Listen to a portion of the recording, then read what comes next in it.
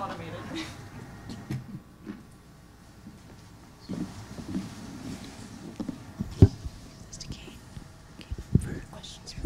So, hello everyone. Uh, my name is Minki Lee. So I'm a postdoc researcher in Osuji Lab. Oops. Osuji Lab. So today my talk about accelerating electrospray deposition film discovery through Bayesian optimization. So these days, many experiments are tedious, time-consuming, and resource-demanding. To solve this problem, uh, uh, many researchers and lovers have begun to partner to accelerate scientific discovery process. So by combining AI and machine learning algorithm. So autonomous experimentation is one of that.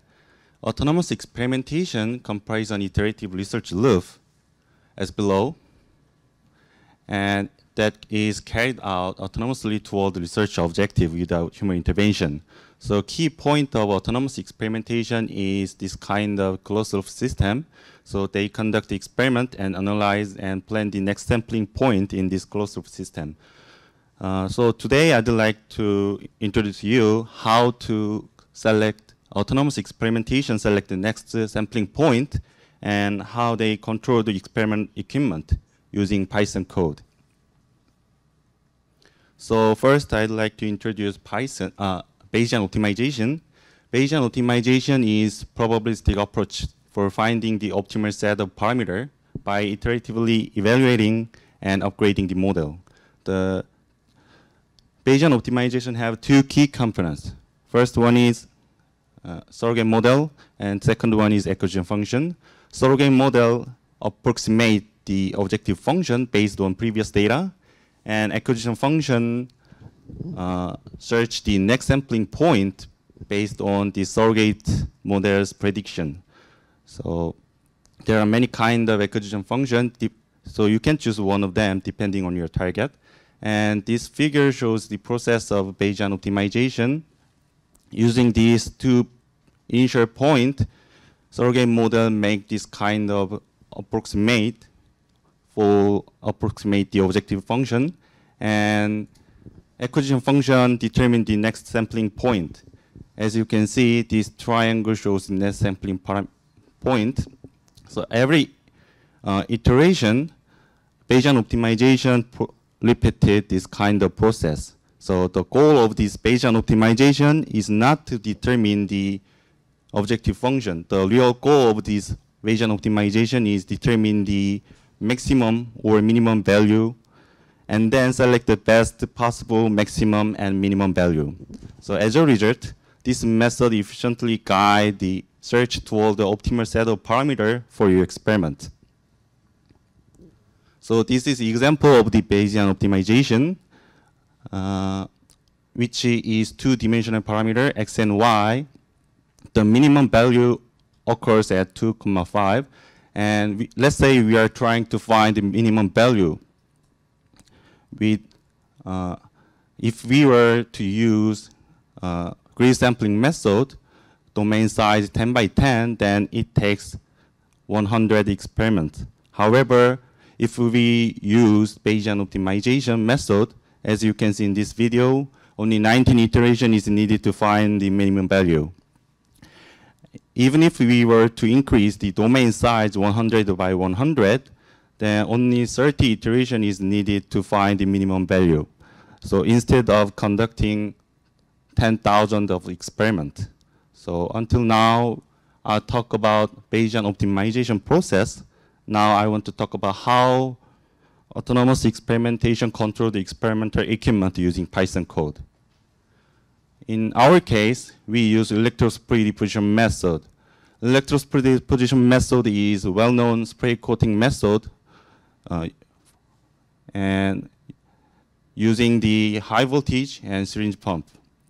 So in this technique, high voltage applied to, to the needle point and electric field is created and charge droplet go to the collector. So uh, to, minimi to minimize researcher intervention during the experiment, we upgrade the experimental setup by adding syringe pump and camera temperature controller and linear stage. in general, laboratory equipment is operated by special, their own special software or their tool, such as MATLAB or LabVIEW. However, it can be operated by Python code using PyVisa. And this is example of that. PyVisa is a Python package that enable you to control experimental equipment through the RS-232 port.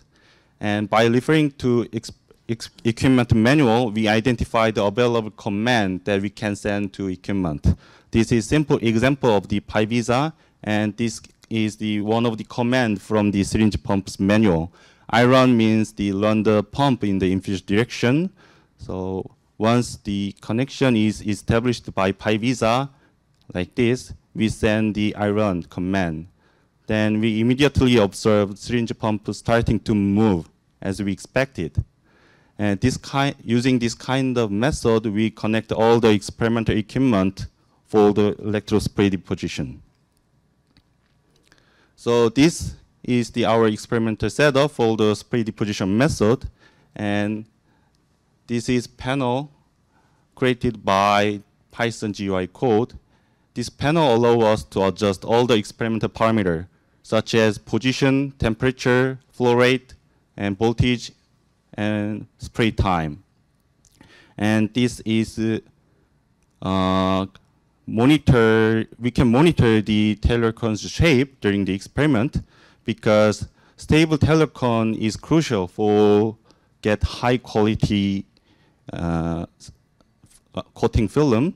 So when the cone's shape change from ideal case to the dripping mode or jetting mode, then we, can, we observe the non-homogeneous film coating.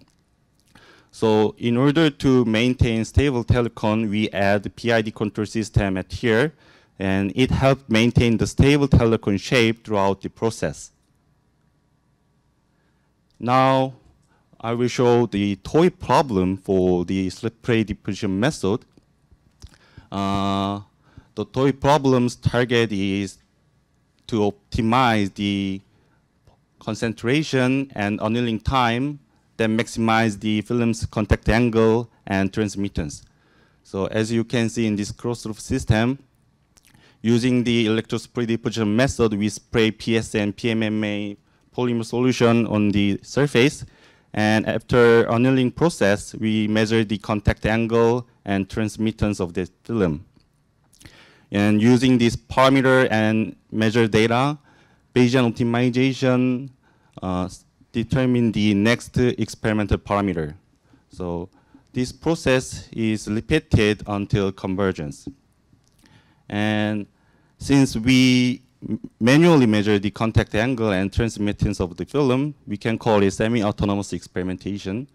And before we start the semi-autonomous experimentation, uh, we get the initial data uh, depending on the PS concentration and annealing time. Let's see this transmittance data first. As we expected, when we increase the annealing time, higher transmittance data was observed. However, in the, the contact angle case, as you can see at the 50% PS concentration, the highest contact angle is observed. So for the simple experiment, we fix the PS concentration and conduct the semi-autonomous experimentation to optimize the annealing time. So this is the result of semi-autonomous experimentation. Let's see this graph first. Y-axis means the contact angle, but uh, it have to display it upside down. I'm sorry about that. And x-axis means the annealing time. And using the first data, Bayesian optimization's surrogate model approximate this kind of objective function and acquisition function calculate the next sampling point. And after certain iteration, the optimal annealing time was identified. As you can see, 13 minutes is optimal annealing time to make the highest contact angle 84 degree. And during the annealing process, the polymer domain merge and form a large morphology. I thought that this kind of morphology change affect to the contact angle. Next, data is semi-autonomous experimentation for transmittance. So after eight iteration, the optimal annealing time was identified, as you can see in this graph. And what I want to emphasize is that parameters suggested by Bayesian optimization uh, can vary depending on your desired outcome.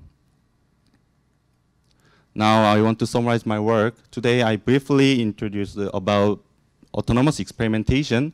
This autonomous experimentation is process of using AI and machine learning algorithm. So Bayesian optimization help us explore parameter more efficiently with fewer iteration. And all the experimental equipment was connected and controlled by Python code. And finally, we show the toy problem using semi-autonomous experimentation. So this is end of my presentation. Thank you for listening.